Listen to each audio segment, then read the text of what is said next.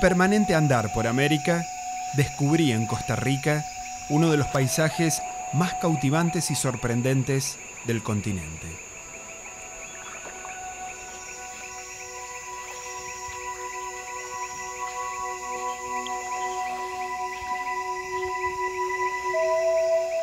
Una pequeña embarcación me acercó a Tortuguero, un paraíso natural de una belleza escénica admirable.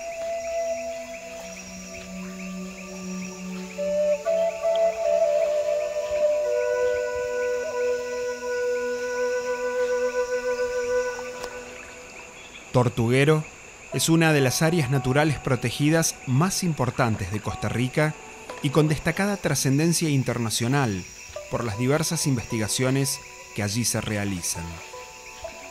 Se ubica al noreste del país, sobre las costas del Mar Caribe, donde llegan a desovar distintas especies de tortugas como la verde y la baula.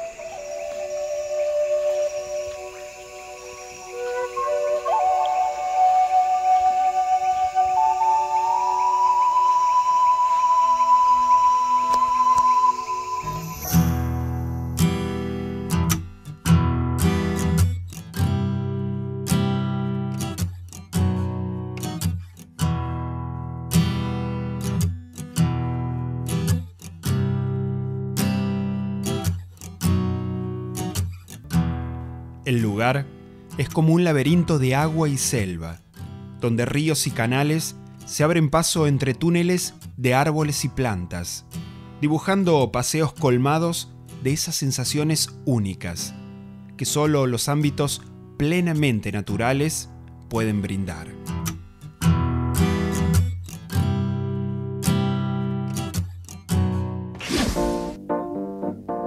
Disimuladas entre la vegetación que pareciera impenetrable, se ubican exclusivas infraestructuras que ofrecen servicios de excelencia a quienes llegan a conocer estos paisajes costarricenses.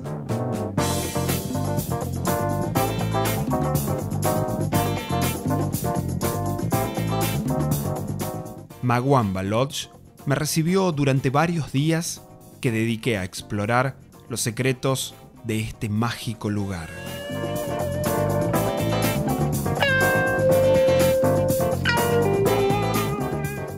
En medio de un parque colorido, protagonizado por flores de diversas formas y tonalidades, se ubican las habitaciones integradas al entorno.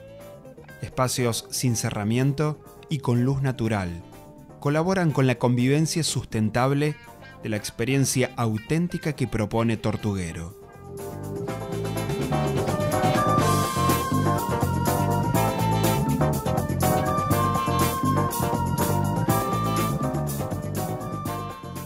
El lugar recibe casi 6.000 milímetros anuales de lluvias.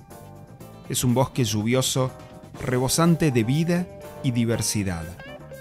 El aroma a humedad y el sonido de cientos de insectos son una constante que con el pasar de los días no deja de sorprender.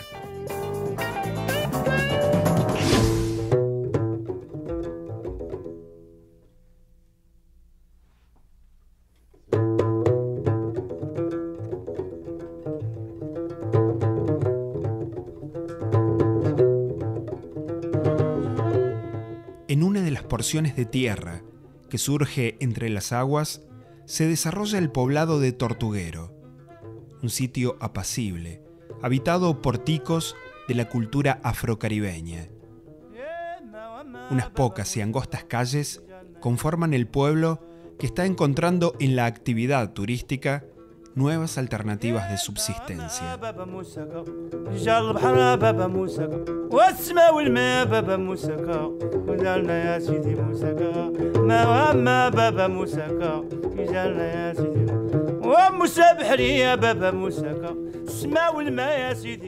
Humildes casas rodean las vías, que se convierten en improvisadas canchas de fútbol cada tarde. Tortuguero es una villa tranquila, colorida y donde se respira un aire muy especial.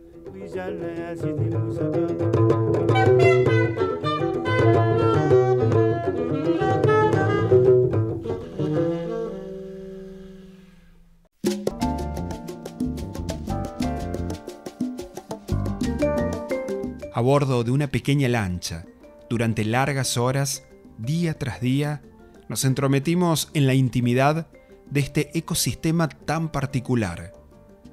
Los verdes de altos árboles, que se elevan por decenas de metros, desbordan la mirada. Tortuguero es hábitat de más de 400 especies de árboles y 2.200 variedades de plantas. Con el pasar de los minutos, los animales que viven en este paisaje empiezan a aparecer ante nosotros. La sorpresa y la emoción generan momentos colmados de fascinación.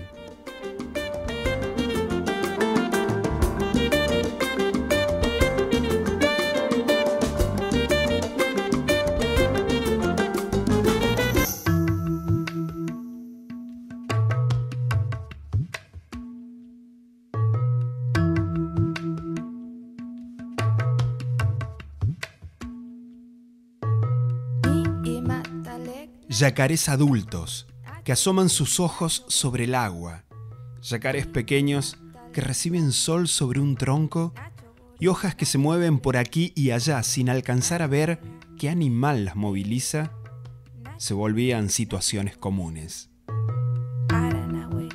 Tres especies de monos conviven en el lugar, el aullador, el cara blanca y el mono araña, que se desliza entre los árboles con una habilidad asombrosa.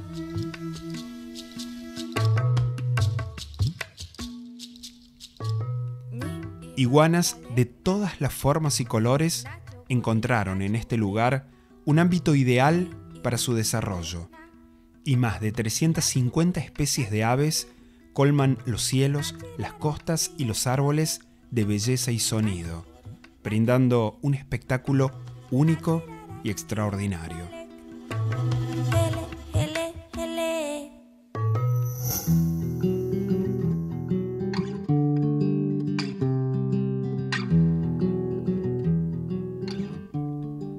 Cuando la naturaleza abraza con su espíritu grandioso, el hombre siente paz en su alma y armonía en su cuerpo. Tortuguero es un paraíso natural, un sitio admirable, imponente, que invita a pensar y reflexionar acerca de la importancia de cuidar los ecosistemas de nuestro planeta y proteger la diversidad tan especial de nuestro rico continente americano.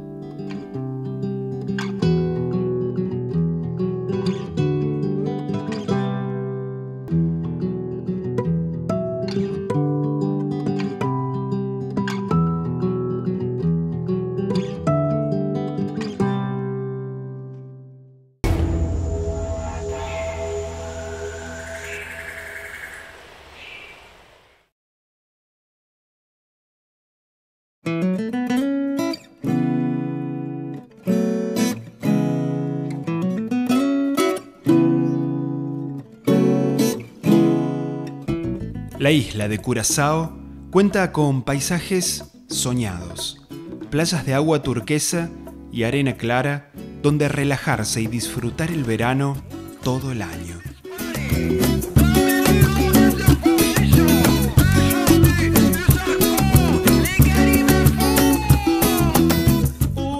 Williamstad, su ciudad capital, se despliega a orillas de la bahía Santa Ana y su centro histórico, de particular estilo holandés caribeño, fue declarado Patrimonio de la Humanidad.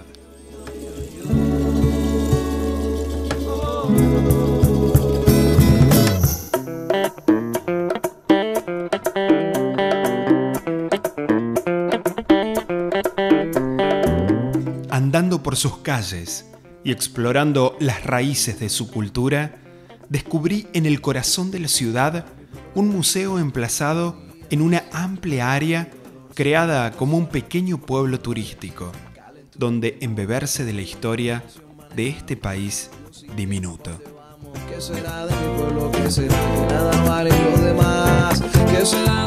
El museo se llama Cura Ulanda, que significa patio holandés en papiamento, el idioma oficial de Curazao.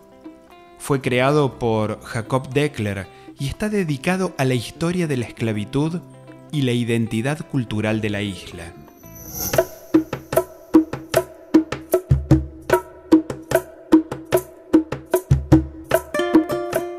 Con la introducción de cultivos de caña de azúcar en la época de la colonización, la trata de esclavos se convirtió en un gran negocio y hasta llegó a ser el mayor empleador de Holanda y Portugal entre los años 1500 y 1750.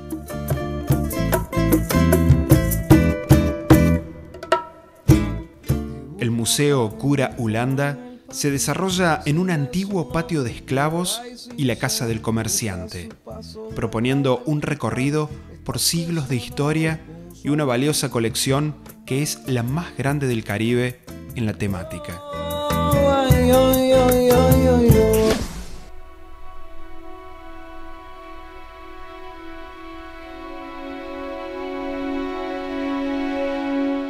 Las imágenes y piezas exhibidas calan en lo más profundo. Una crónica del dolor y sufrimiento que padecieron millones de personas que fueron privadas de su derecho innato, la libertad.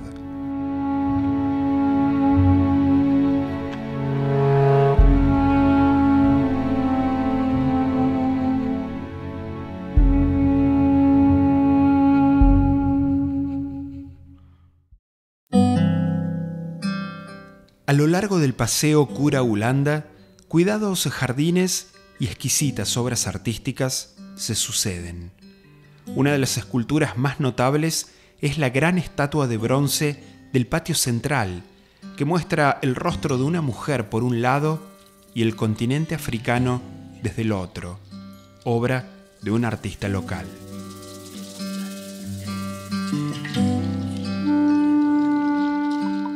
El lugar se compone además de 15 edificios en 16.000 metros cuadrados, con servicios de hotelería y gastronomía para tener una estadía colmada de cultura.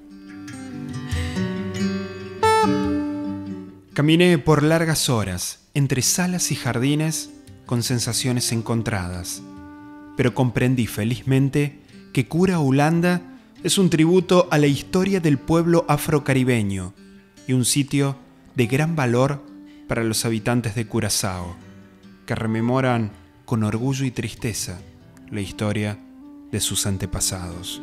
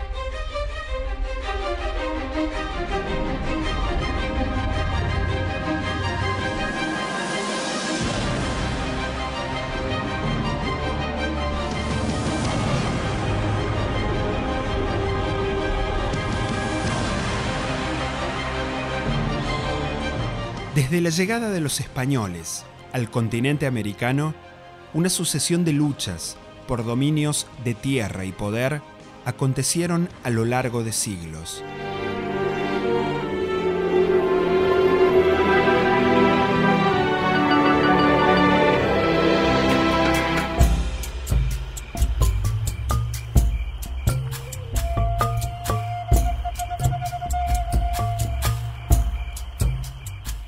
De aquellas tumultuosas épocas quedaron en nuestro suelo murallas y castillos que se erigieron para proteger diversos territorios. Así llegué a la fortificación más grande de América, el Fuerte San Cristóbal, en San Juan de Puerto Rico.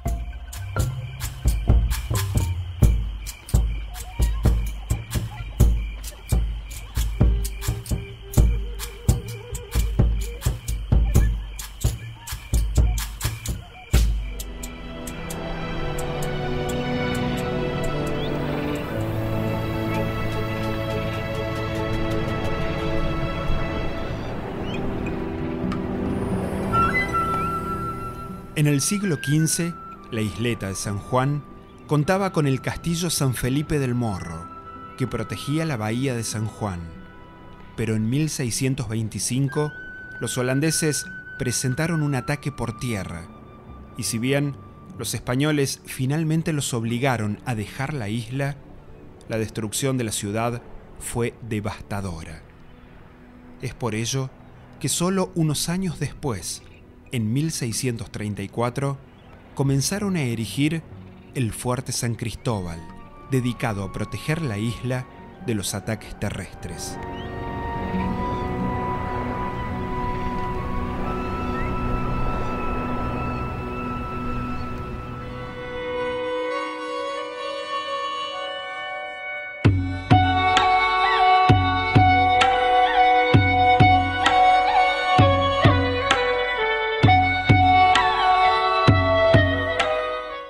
400 hombres trabajaron a diario por más de 150 años. Cuando fue culminado, hacia 1785, San Cristóbal contaba con 11 hectáreas de sólidos muros y múltiples líneas de defensa, convirtiéndose en el fuerte más extenso del Nuevo Mundo.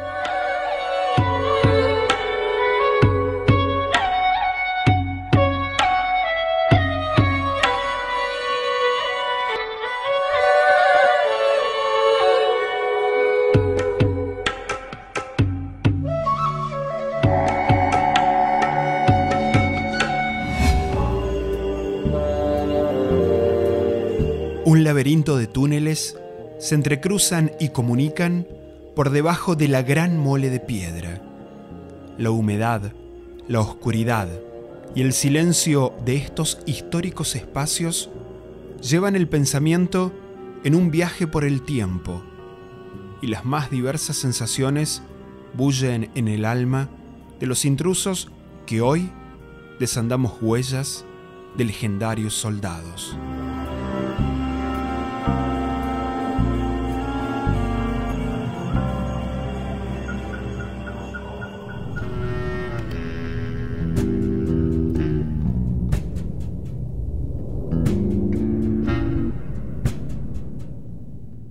Desde los altos paredones, las vistas hacia el mar son cautivantes. Y bajando la mirada, muy cerca del agua, se divisa un pequeño mirador conocido como la Garita del Diablo. Cuenta la leyenda que los guardias que eran asignados a ese puesto de vigilancia desaparecían una y otra vez.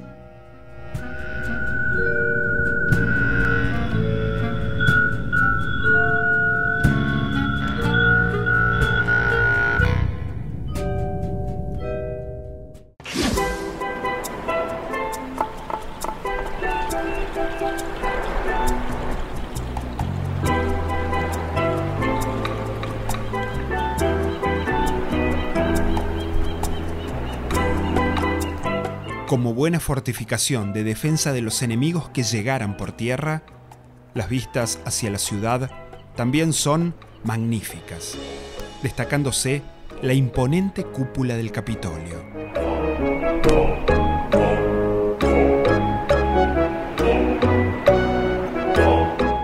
Entre los grandes muros y galerías de San Cristóbal se ubican cinco cisternas con capacidad de almacenar casi 3 millones de litros de agua de lluvia para consumo y sustento de los soldados que necesitaran quedar ocultos ante un ataque.